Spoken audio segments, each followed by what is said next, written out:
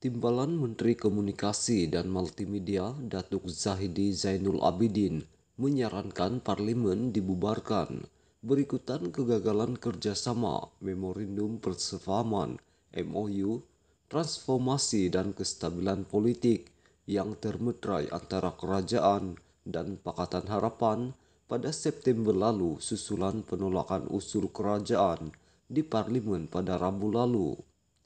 Zahidi berkata secara pribadi beliau melihat kegagalan kerjasama antara kerajaan dan pembangkang untuk bersetuju melanjutkan tempo kuat kuasa subsection 4 kurungan 5 Akta Kesalahan Keselamatan Langkah-Langkah Khas 2012 SOSMA bagi tempo lima tahun lagi pada pembentangan usul di parlimen itu mencerminkan ketidakstabilan politik negara ketika ini.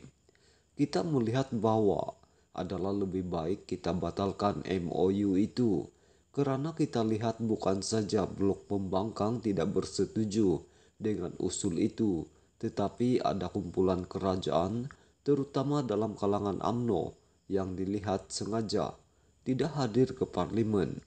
Ini sekaligus menunjukkan mereka tidak bersetuju dengan apa yang disampaikan oleh Menteri Dalam Negeri Datuk Seri Hamzah Zainuddin dari Parti Pribumi Bersatu Malaysia Bersatu.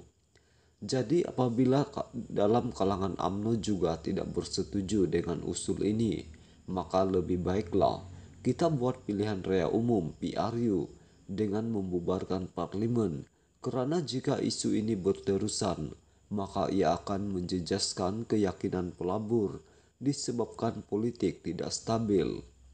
Jika tidak stabil, maka tidak adalah pelabur yang ingin membuat pelaburan di negara kita menyebabkan ekonomi negara sukar berkembang sehingga menyukarkan peluang pekerjaan kepada rakyat katanya.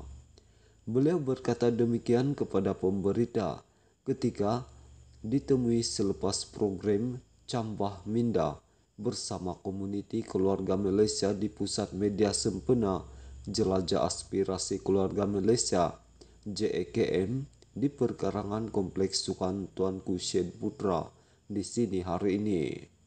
Sekian isu hangat ini untuk berita penuh. Sila layari mymetro.com.my yang bertajuk Bubar saja parlimen kalau masing-masing tak setuju.